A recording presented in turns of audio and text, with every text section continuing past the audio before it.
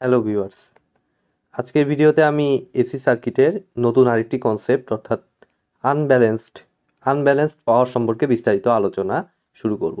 তো আমি সরাসরি একদম প্রবলেম স্টেটমেন্টের সাহায্যে আমি জিনিসটা এক্সপ্লেইন করব, কারণ এই ধরনের ইয়েগুলো আপনারা এর আগে বেসিকটা আমি অলরেডি সব দিয়েই দিছি এখন আমাদের এগুলো প্রবলেম সলভের মাধ্যমে আস্তে আস্তে আমাদের বুঝতে হবে যে আসলে আনব্যালেন্সড পাওয়ারটা কী। তো ফার্স্ট অফ অল আমি একটু বলি যে ব্যালেন্সড পাওয়ার বলতে বেসিক্যালি আমরা যেটা বুঝি আনব্যালেন্সড হচ্ছে তার উল্টোটা। অর্থাৎ ব্যালেন্সড পাওয়ারে আমাদের তিন ফেজে দেখা যায় যে ভোল্টেজ সেম থাকে সোর্স সাইডে ভোল্টেজ সেম আবার লোড সাইডে তিনটারই আমার কি বলে যে ইম্পিডেন্সটা সেম থাকে। এরকম হইলে আমরা সেটাকে বলি হচ্ছে ব্যালেন্সড কন্ডিশন বাট আনব্যালেন্সড কোন ক্ষেত্রে হয়? ধরেন যে সোর্সের ভোল্টেজগুলো আলাদা। কথার কথা। সোর্সের ভোল্টেজগুলো আলাদা বাট লোডের ভোল্ট লোডের ইম্পিডেন্সগুলো এক। আপনি কিন্তু এক্ষেত্রে এটাকে বলতে পারেন আনব্যালেন্সড কেননা সোর্সের ক্ষেত্রে আমাদের ভোল্টেজটা কিন্তু আলাদা হয়ে গেছে। অথবা সোর্সে ভোল্টেজ আমার ব্যালেন্স আছে বাট লোডের ক্ষেত্রে যে ইম্পিডেন্স আলাদা। সেক্ষেত্রেও এটাকে বলতে পারেন আনব্যালেন্সড অথবা সোর্স লোড দুই ক্ষেত্রেই ভ্যালুগুলো আলাদা। সেটাকেও আপনি বলতে পারেন আনব্যালেন্সড আর তখনই কেবলমাত্র ব্যালেন্স বলতে পারবেন যখন একই সাথে দুটোই। অর্থাৎ সোর্স সাইডে আমাদের ভোল্টেজ এবং লোড সাইডে আমার ইম্পিডেন্স সেম হবে। জাস্ট ফেজ অ্যাঙ্গেলটা আমার একশো বিশ ডিগ্রি করে ভোল্টেজের ক্ষেত্রে। এরকমটা হইলেই কেবলমাত্র সেটাকে ব্যালেন্স বলতে পারেন। আদারওয়াইজ এগুলো সব হচ্ছে আমার কি জিনিস? ইয়ে ওর নাম কি? আনব্যালেন্সড কন্ডিশন তো এখন দেখুন, এই যে এখানে দেখুন যে কোশ্চেনটি দিয়েছে, এটা আলেকজান্ডার বইয়ের একটি problem the unbalanced Y load of figure twelve point two three এই যে figure twelve point two three এটা has balance voltages of hundred volt অর্থাৎ এগুলোর আমার ভোল্টেজটা আমার ব্যালেন্স এটা বলে দিচ্ছে হান্ড্রেড ভোল্ট ঠিক আছে? এবং এই, এটা আছে হলো এসিবি সিকোয়েন্সে ঠিক আছে? তো এবিসি সিকোয়েন্স এসিবি সিকোয়েন্স সম্পর্কে কিন্তু আমি অলরেডি ভিডিও দিয়েছি সো আপনি আপনার চাইলে কিন্তু প্লেলিস্ট থেকে সেগুলো দেখে নিতে পারবেন, যদি সমস্যা থেকে থাকে আপনাদের। আর তারপরে বলছে calculate the line currents and the neutral current take Z A is equal to fifteen ohm Z B is equal to ten plus J five ohm Z C equal to six minus J eight ohm তাহলে দেখুন আমার source সাইডে আমার voltage আমার balance ঠিক আছে? বলেই দিছে ব্যালেন্স এবং এসিবি সিকোয়েন্স এখান থেকেও বুঝতেছি এটা ব্যালেন্স বাট লোড সাইডে আমার কি ঘটনা করতেছে ইম্পিডেন্সগুলো আলাদা, সমান নয়। দ্যাট মিনস আমার নিঃসন্দেহে এটা একটা আনব্যালেন্সড কন্ডিশন ঠিক আছে? কোশ্চেনেও বলে দিচ্ছে সো অনেক সময় কোশ্চেনে নাও বলা থাকতে পারে, সেক্ষেত্রে আপনাকে কিন্তু ধরে নিতে হবে। তো দেখুন, আমি এখন প্রবলেমটা তাহলে সলভ করা যায় কীভাবে, সেটা একটু দেখি। তো প্রথমত আমাদের যেহেতু ভোল্টেজটা আমার আনব্যালেন্সড ভোল্টেজটা ব্যালেন্স যেহেতু তাহলে আমার তিন ফেজের আগে ভোল্টেজটা আমি বের করে নিই, ঠিক আছে? অবশ্যই এটা ফেজ ভোল্টেজ তো ভিএএন যেটা হবে যে এই নিউট্রাল এই নিউট্রাল এবং সোর্সের নিউট্রাল এই দুটো একসাথে কানেক্টেড আমি অলরেডি কিন্তু ব্যালেন্সড ওয়াই ওয়াই সার্কিট দেখিয়েছি, সেটাই এখানে অ্যাপ্লাই করছি। তো, যদিও এখানে বলে দেয় না যে সোর্সটা আমার ওয়াই কানেক্টেড এটা কোথাও বলে দেয় না জাস্ট লোডটা আমার ওয়াই কানেক্টেড বলে দিচ্ছে বাট বাই ডিফল্ট আমরা এটাকে ধরে নিব ওয়াই কানেক্টেড অর্থাৎ এই সাইডটা আমাকে, আমি ধরে নিচ্ছি V N is equal to আমার কত? কত ভোল্টেজ দিছে? হান্ড্রেড ভোল্ট তাহলে হান্ড্রেড প্রথমটাকে বাই ডিফল্ট তাহলে কত ধরে নিব? জিরো ডিগ্রি ধরে নিব। যেহেতু কোনো ফেজ অ্যাঙ্গেলে কোনো কিছু দেয় নাই। তো এটাকে hundred angle zero degree volt তাহলে এবার আসুন এসিবি সিকোয়েন্স যেহেতু বলছে, তাহলে পরের বি ফেজে আমার কি ঘটনা ঘটবে? বি ফেজে আমার হবে হচ্ছে একশো বিশ ডিগ্রি লিড করবে এটা থেকে। ঠিক আছে? এসিবি সিকোয়েন্সে হচ্ছে একশো বিশ ডিগ্রি লিড করে আর এবিসি সিকোয়েন্স হলে বি বিতে এসে একশো বিশ ডিগ্রি ল্যাক করে। অর্থাৎ হান্ড্রেড যেহেতু balance so magnitude value same আর এটা angle one twenty degree one twenty degree okay fine আর হচ্ছে ভিসি কত? ভিসি হচ্ছে আমার ভিসি হচ্ছে আমার hundred angle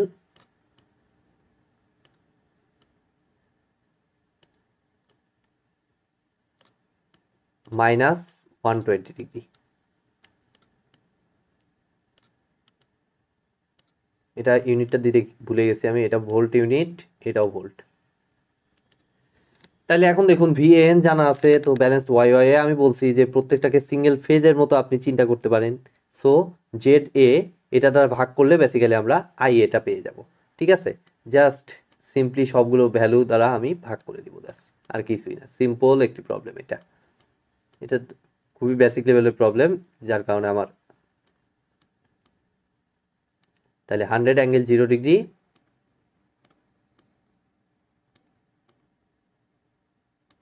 divided by আমার কত? জেডে ফিফটিন তাহলে হান্ড্রেড বাই ফিফটিন যা আসবে এটাই রেজাল্ট জাস্ট একটা ভ্যালু আসবে, hundred by fifteen, six point six seven. এটাই লিখে দিচ্ছি। Six point six seven, angle সহ লিখি যেহেতু এটা কারেন্টে ফেক্টর ফর্মে লেখা উচিত সো আমার এত অ্যাঙ্গেল জিরো ডিগ্রি অ্যাম্পিয়ার তাহলে বাদ বাকি দুটা কত হবে? অবভিয়াসলি সমান হবে না আইবি আইসি কেননা এটা আনব্যালেন্সড কন্ডিশন রেজিস্ট্যান্স আলাদা। সরি ইম্পিডেন্স আলাদা। তাহলে আমার আইবি আইবি মানে হচ্ছে ভিবি উপরে। তাহলে এটা হচ্ছে hundred angle hundred angle one twenty degree divided by দেখুন জেড বি কত দেয়া আছে ভ্যালু জেড বি হচ্ছে আমার ten plus J J five ten plus J five তাহলে জাস্ট এটা ক্যালকুলেটারে বসিয়ে দেবো। ক্যালকুলেটারে বসিয়ে দিলে যেটা আসে, এটাকে অ্যান্সার হিসেবে গ্রহণ করব। তাহলে হান্ড্রেড অ্যাঙ্গেল দেখুন আমি ক্যালকুলেটার সাহায্য নিচ্ছি। Hundred angle one twenty divided by ten plus J five যে ভ্যালুটা পাইলাম, সেটাকে আট থিটা ফর্মে নিয়ে নেব। তাহলে আমার ভ্যালুটা আসতেছে, দেখুন eight point nine four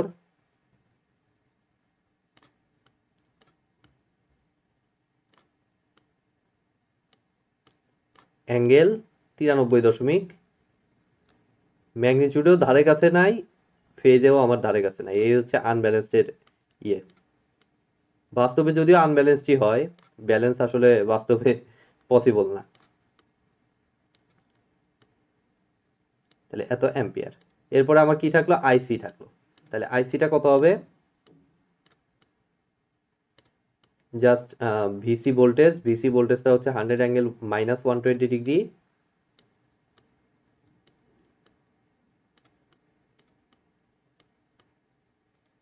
divided by আমার কত ইম্পিডেন্স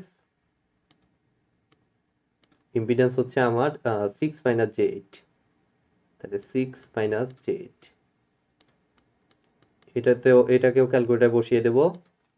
তাহলে হান্ড্রেড অ্যাঙ্গেল মাইনাস একশো বিশ divided by six minus J eight যে রেজাল্ট পাইছি সেটাকে আট থিটা ফর্মে নিয়ে নেব ক্যালকুলেটারের মাধ্যমে। তাহলে টেন অ্যাঙ্গেল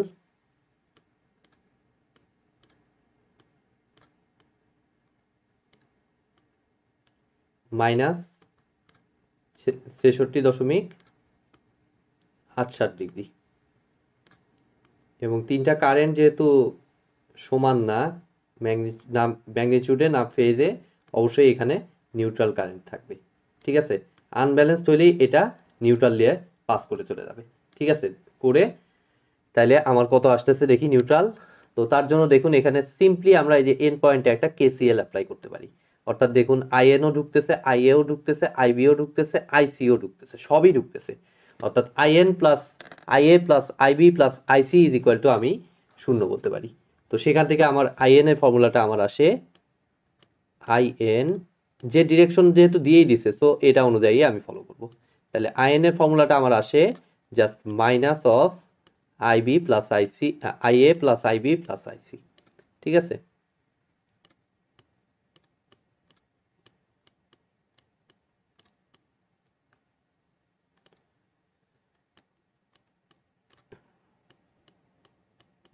তাহলে নিউট্রাল কারেন্টটা আমার কত আসে আমি একটু দেখি। জাস্ট ক্যালকুলেটারে আমি বসিয়ে দেবো। প্রত্যেকটা ভ্যালু এখন জানা, দেখুন। তাহলে আইসি লাস্টে পাইলাম প্লাস আইবির ভ্যালু হচ্ছে eight point nine four angle তিরানব্বই দশমিক চার তিন যোগ করে দিব plus six point six seven angle zero degree বসিয়ে দিলাম। এটাকে আবার মাইনাস ওয়ান দিয়ে গুণ করলাম। কেননা, আমার আগে একটা মাইনাস আছে। তারপরে যে রেজাল্ট পাইলাম, সেটাকে আট তিটা ফর্মে নিয়ে নেব। তাহলে আমার রেজাল্টটা আসতেছে ten point ten point zero six seven নিউট্রালে current আছে মানেই আমি বুঝব যে এটা আনব্যালেন্স কন্ডিশনে আছে। ব্যালেন্স কন্ডিশনে এটা শূন্য হয়ে যায়। তাইলে আমার অ্যাঙ্গেল একশো আটাত্তর দশমিক চার পাঁচ ডিগ্রি। একশো আটাত্তর দশমিক চার পাঁচ ডিগ্রি।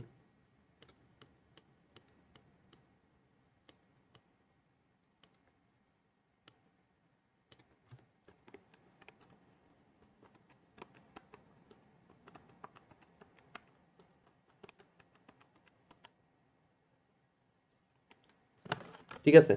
এত অ্যাম্পিয়ার ব্যালেন্স কন্ডিশনে আমার এই নিউট্রালে আমার কারেন্টটা শূন্য আসে। ঠিক আছে? কেননা একটা হচ্ছে আমার জিরো ডিগ্রি একটা একশো বিশ ডিগ্রি একটা মাইনাস একশো বিশ ডিগ্রি এটাকে আপনি যোগ করে দিয়ে দেখুন, আপনার জিরো আসবে। জাস্ট তিনটা কারেন্টকে সমান ম্যাগনিটিউডে সমান ধরে নেবেন আর অ্যাঙ্গেলগুলোকে এভাবে দিবেন ব্যালেন্স কন্ডিশনে তাহলে নিউট্রাল এখানে যোগ করে দেখবেন যে আমার শূন্য আসবে।